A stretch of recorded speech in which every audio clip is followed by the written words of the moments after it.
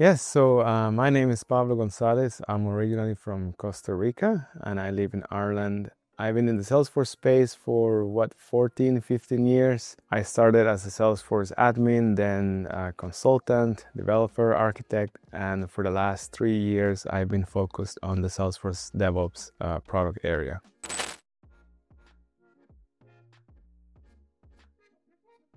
Yeah, so at AutoRABIT, I am a product manager for our uh, new product, uh, which relates to Salesforce security.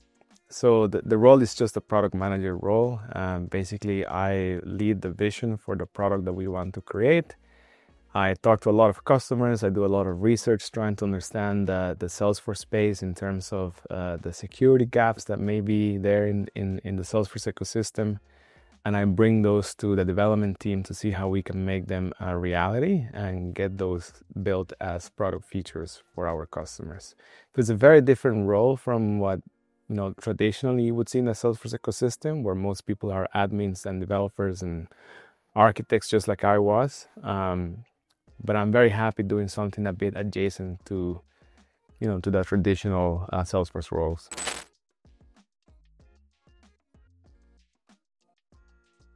Yeah, it's funny because I, I it was not uh, on purpose. So I, about four years ago, I wrote a very simple application called Happy Soup, that at the time became very popular in the Salesforce ecosystem, and that led to a startup um, contacting me, a company called Salto, and they wanted uh, to hire someone that had expertise creating Salesforce apps similar to the one that I had created.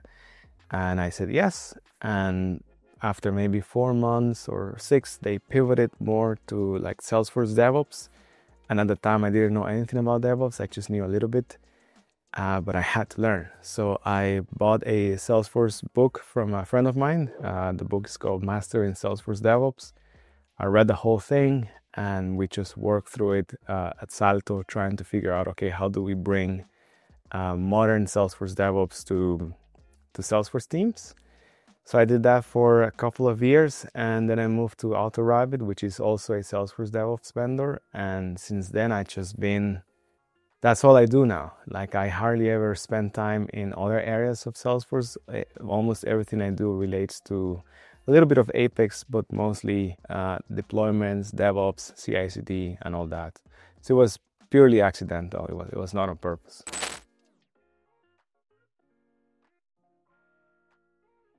The lowest point of my Salesforce career was probably when I worked at a consultancy. Um, not that there's anything wrong with consultancies or anything like that, but for me, it just wasn't the right place to be. And I kind of felt lost that I didn't really know what I was doing. I felt that it was funny because for, for many years I wanted to be a consultant. And then when I got there, I felt that it wasn't for me. And it wasn't, it was, it was not obvious to know is it me or is it the the industry? Or is it the company you know that maybe we don't align? And so for like a whole year i was pretty pretty much going through the motions uh, on that job and i didn't really enjoy it and i didn't really understand how how do i get out of here? Maybe this is how everyone else is doing it. Um, and so that was also that was, was pretty low for me just because i, I really didn't know what to do um, anymore luckily, I was able to get out of there, and and I learned that it was just I'm not a person that that really enjoys consulting. Uh, I enjoy working with customers in a kind of more in-depth relationship. And the other part would be obviously when COVID hit, right? I think we all suffered a lot during COVID, and I also found myself in a job that I really did enjoy, and I was stuck at home for for a long time. Um, and that was also very hard as well. But um, the good thing is that there's so much you can do in the Salesforce space. Like there's just so many opportunities. Like, you know, if, if you don't want to be in consulting, you can always go to like a in-house role or be something else, like in my case, a product manager. So I naturally feel very fortunate that I had options to kind of, you know, okay, if I don't like this or if I don't feel good here, I can go do something else.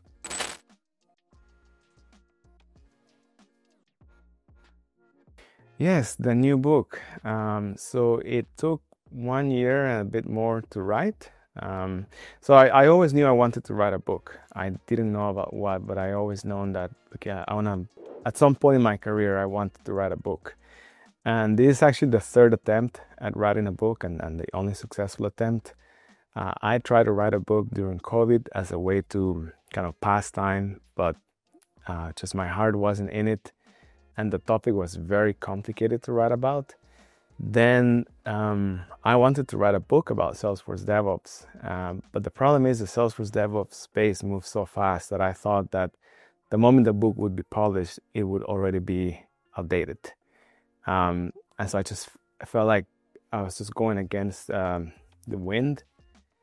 And so I pretty much stopped thinking about it until, um, again, about a year ago, a publisher contacted me uh, just asking if I had any topics that I wanted to write a book about because they had seen my content online and they liked it.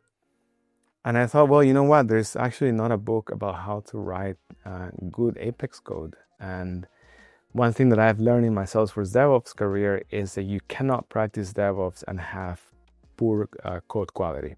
There is, there, it's not optional. If you want to do uh, DevOps the right way, your code quality has to be very good. And so I thought, okay, well, if I can't write about DevOps, at least I can write a good book on how to um, practice good quality in your programming skills.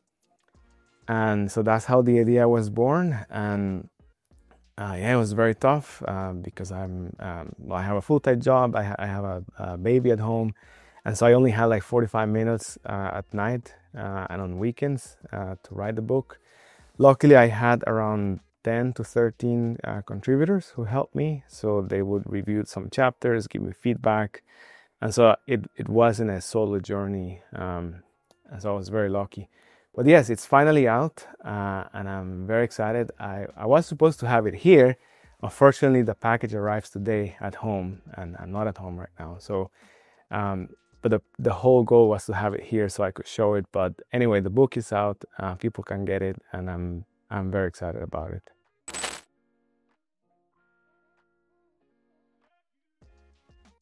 Yeah, so one um, big change that I've noticed, and just very recently, is that the Salesforce space and the Salesforce development space is a lot more open to alternatives and public debate about what works and what doesn't work.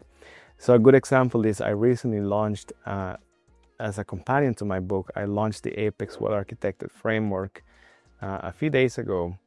And that is positioned as an alternative to another framework that has existed uh, in the Salesforce DevOps space for years.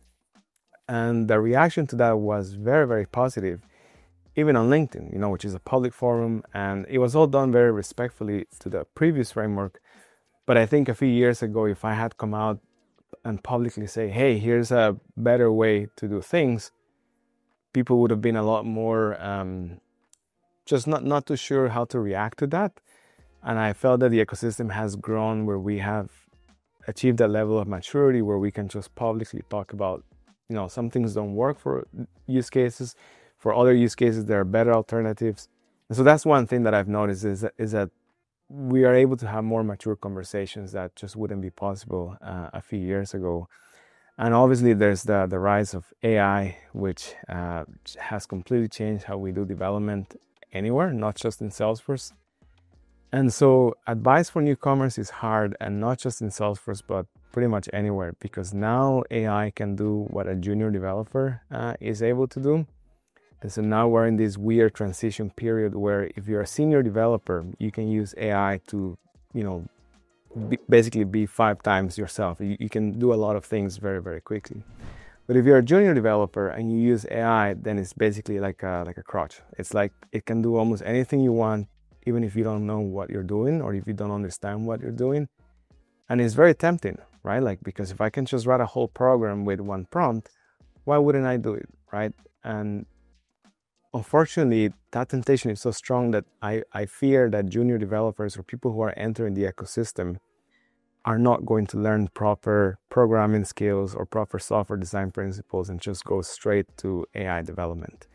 And while that may be great for a few years, I think in five or 10 years, we're going to notice a huge increase in technical debt that exists in Salesforce orgs because a lot of the code was written without really understanding the, the fundamentals of software design. So, my advice to people that are coming to the ecosystem, especially in Salesforce development, is to still take the time to learn programming and software design well. If you do that, AI can make you 10 times better than if you just go straight to AI.